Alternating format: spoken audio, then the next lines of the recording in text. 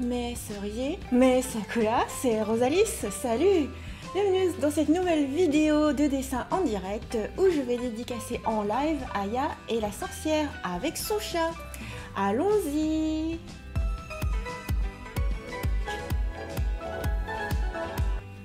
C'est donc une dédicace pour Gabriel qui m'a demandé ce petit fan art. Alors c'est parti. Hop c'est pas du tout dans mon style de dessin habituel, donc c'est plutôt pas mal. Ça me lance un défi en quelque sorte. Et est-ce que vous connaissez Aya et la sorcière? C'est un film euh, qui est disponible sur Netflix que vous pouvez regarder du coup euh, en vidéo à la demande.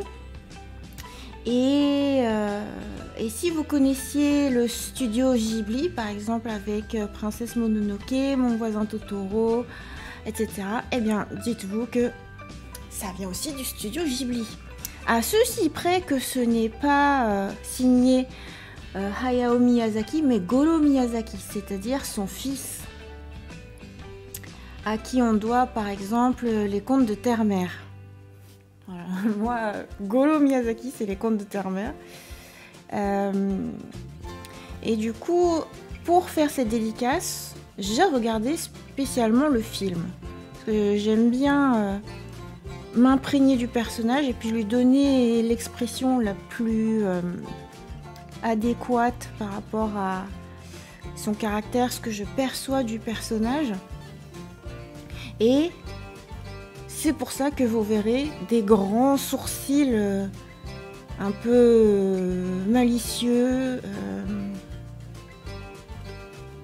très sûrs d'elle et pas du tout dans l'esprit euh, genre mignonne petite fille euh, comme je peux faire parfois, mais plutôt euh, voilà très décidée et elle sait ce qu'elle veut faire.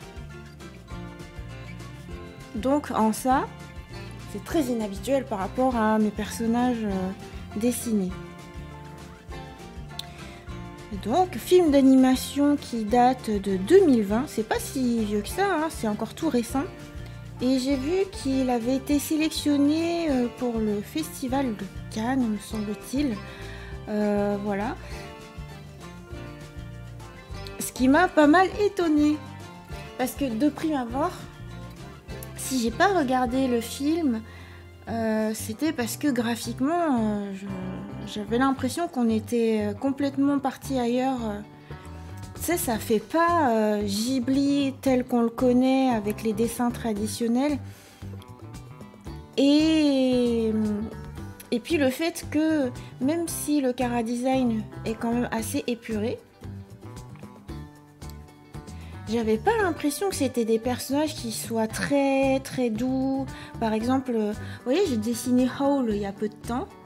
Euh, et, moi, je trouve que dans son regard, il y a quelque chose de doux, apaisé. Euh, et hum, dans les films de Ghibli, ce que j'aime bien souvent, c'est que tu as quelque chose de non violent, quelque chose de vraiment euh, nature, paix. voilà, des sentiments très doux. Or, Aya, c'est pas la même chose. C'est plutôt euh, petit enfant espiègle euh, avec euh, un arrière-plan de sorcellerie et en même temps elle n'a peur de rien. Elle n'a pas peur de se salir, elle n'a pas peur de la bave de crapaud, tout ça, tout ça. En ça, c'est assez impressionnant. Mais clairement, c'est pas la même ambiance quoi.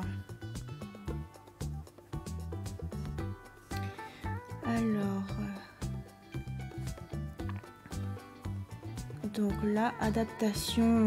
En fait, souvent avec Ghibli, c'est adapté de livres. Là, j'ai vu que le titre original, c'est Earwig. Earwig and the Witch. Quelque chose comme ça.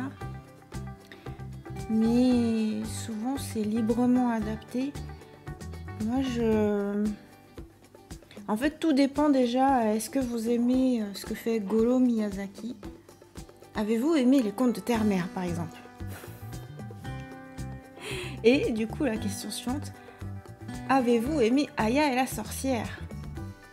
En tout cas, euh, moi je remercie Gabriel de m'avoir fait cette requête parce que j'aurais J'aurais pas nécessairement regardé le film sinon. C'était une bonne surprise. Puis bon, l'avantage aussi quand tu es déjà abonné sur Netflix, c'est que bah voilà, tu as, accès. C'est juste que, est-ce que tu vas penser à regarder? Bah, Pas forcément. En l'occurrence, moi, ça m'avait pas été proposé euh, par Netflix et puis euh, j'étais pas allée nativement vers ce film. Après, tu retrouves, je trouve, un peu tout, tout ce qu'il y a souvent chez Ghibli, c'est-à-dire, un genre une vieille grand-mère qui euh, est finalement pas si méchante que ça.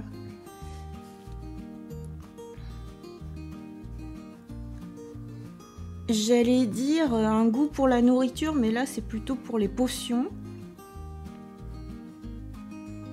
Et puis un animal de compagnie qui ici parle. Euh, alors par rapport au Cara Design d'origine, qu'est-ce que j'ai changé? J'ai un tout petit peu arrondi quand même. Euh, mais j'ai tenu à faire euh, les cheveux en pointe. Voilà, je trouvais que c'était très caractéristique du personnage. Et des très grands yeux écarquillés. Oh, comme ça. Parce qu'en fait, la majorité du temps dans le film, je trouve qu'elle a les yeux écarquillés. Genre presque effrayant. C'est sans doute pour ça qu'au début, je suis pas allée vers ce film. Je me disais, mais. Euh, je sais pas qu'est-ce que fait l'héroïne, elle me fait un peu peur. Et en fait, au contraire, euh, c'est elle qui n'a jamais peur de rien.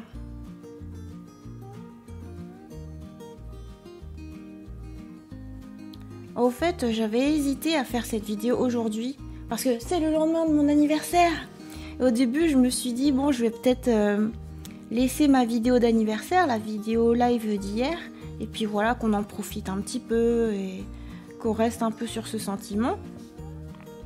Et euh, bah après, euh, je vous raconterai tout à l'heure euh, à quel point je me sens mieux par rapport à quelque chose.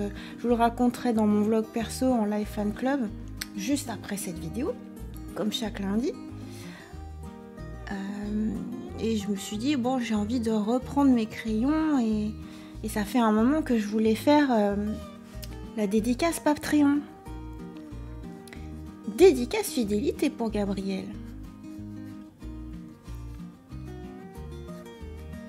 Voilà, reprendre euh, le dessin en live, le dessin euh, dédicace Patreon. Donc euh, voilà, je me suis dit, pas de repos pour les braves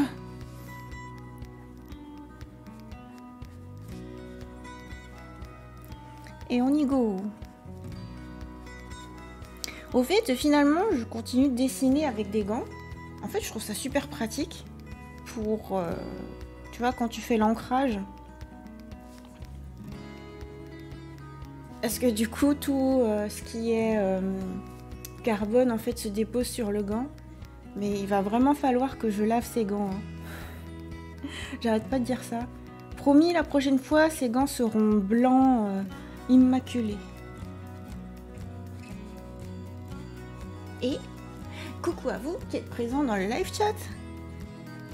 Coucou Gwenoline qui dit vivement c'est un personnage que j'aime énormément. Ah bah c'est super, hein. moi qui me demandais si vous connaissiez euh, Aya. Tu l'aimes carrément énormément. En même temps ça m'étonne pas. Et coucou Valentin qui dit Aya avec son chat me fait trop penser à Kiki et la petite sorcière. En un sens, ouais, à un moment, je me suis demandé si ça allait partir dans ce sens-là.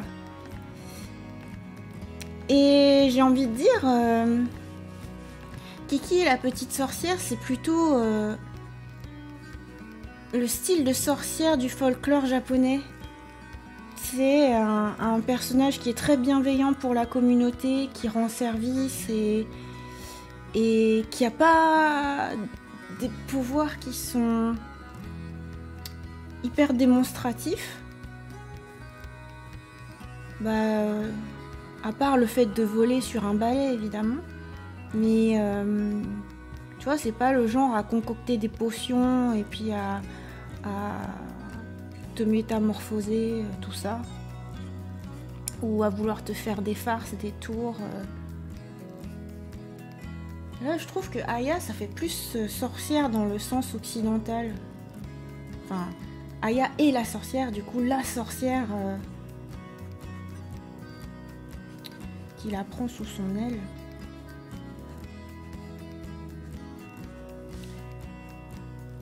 Voilà, et après, bon, bah. Je travaille un peu ses cheveux. Même si en vrai, euh, je pense qu'il faudrait que je fasse moins de cours, il faudrait que je fasse des traits plus secs si je voulais être encore plus fidèle au style. Je peux pas non plus faire complètement des cheveux paille. Faut qu'il y ait un minimum de souplesse, je trouve.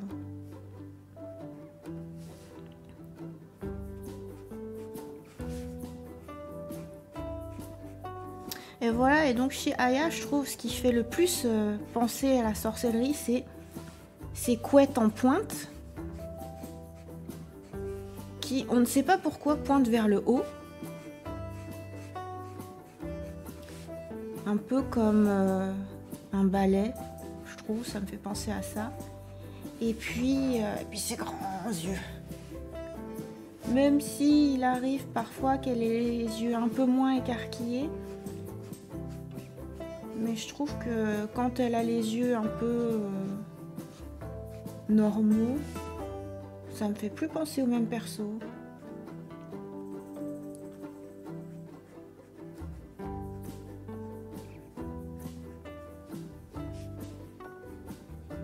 Oh tiens, il y a un vent du tonnerre en ce moment dans l'ouest. C'est euh, incroyable. Et je me dis, comment se comporteraient ces cheveux dans le vent qu'on a actuellement? Je pense que ça bougerait pas. Conçu pour être figé.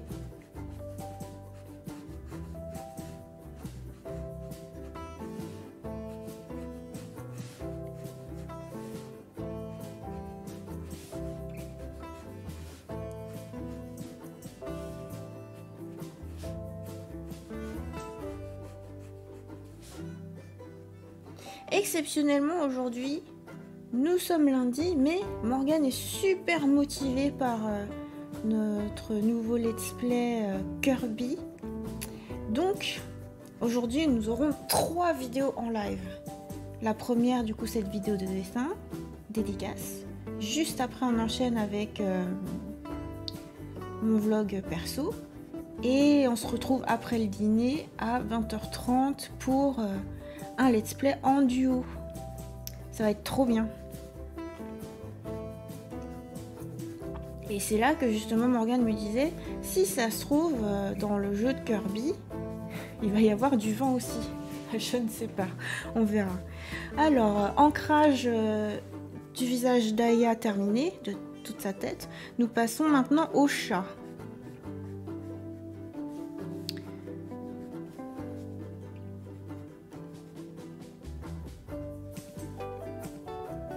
Je leur ai donné une attitude sympathique à tous les deux, euh, non pas en mode cache-cache, euh, prépare-moi une potion, mais euh, un peu câlin.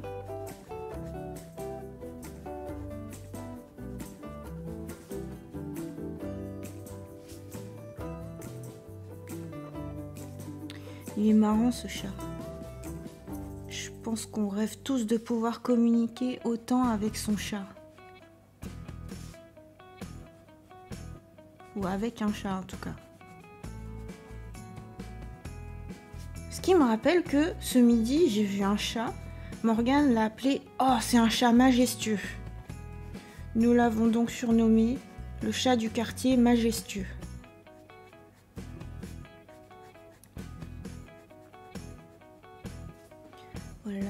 Alors lui aussi, il y a un effet euh, sourcil très décidé. Même si c'est pas vraiment des sourcils, on va dire c'est son arcade sourcilière. Voilà, œil de chat.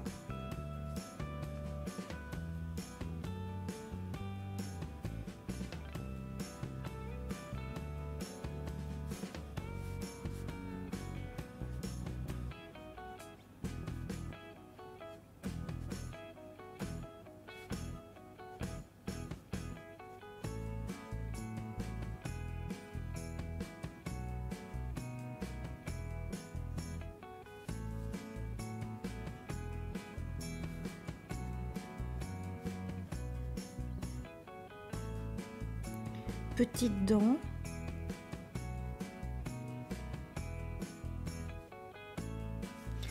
Moustache.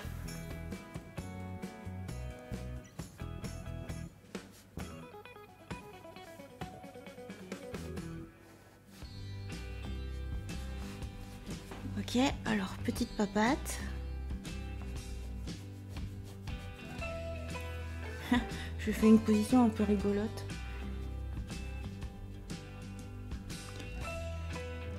Il est marrant comme ça, il est longiligne.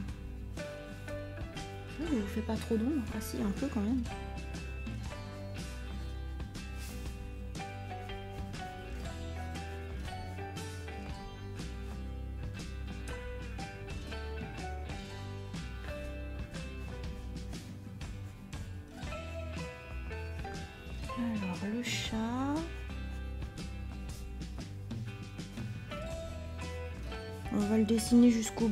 Avant de reprendre le corps de Aya.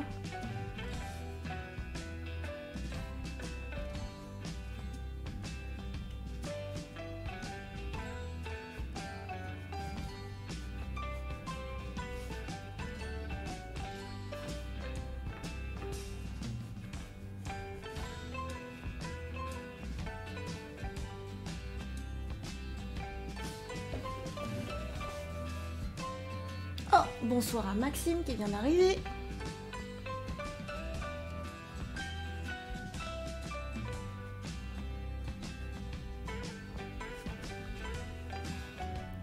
Ok, alors la queue jusqu'en bas.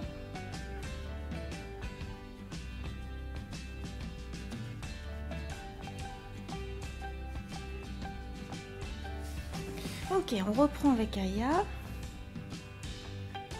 avec sa petite tenue.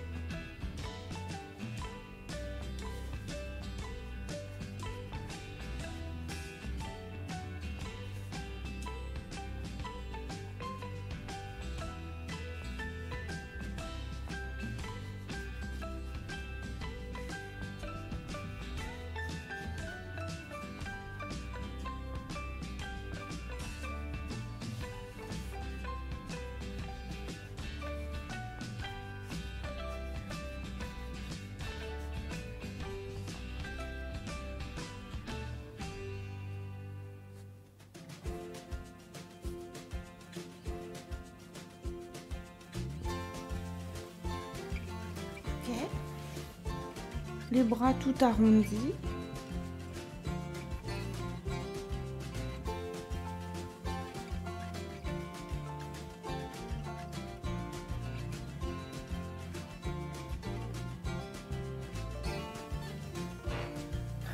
J'ai poussé mon chouchou? Ouh, ça fait de l'ombre.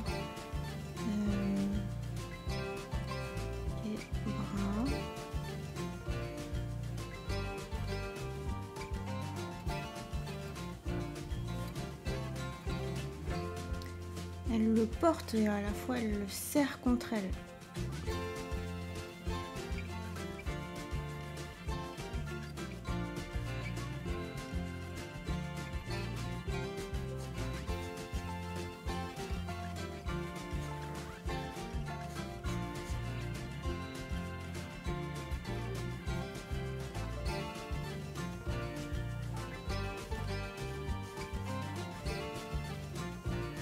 Et ce n'est pas fini. Je vais faire ça. La gomme Ariel.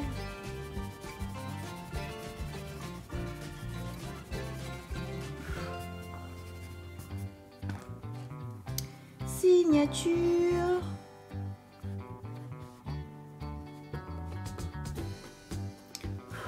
Et donc c'est une dédicace pour Gabriel.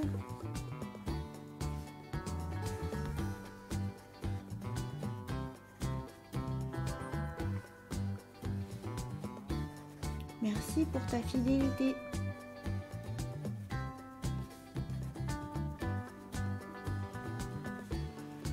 À mon fan club Patreon.